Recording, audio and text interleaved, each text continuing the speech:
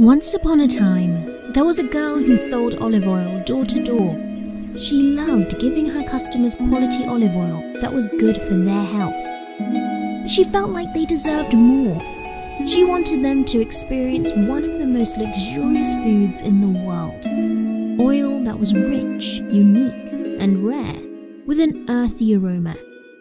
Ladies and gentlemen, we introduce to you our second annual anniversary edition Emblem Black Truffle Olive Oil.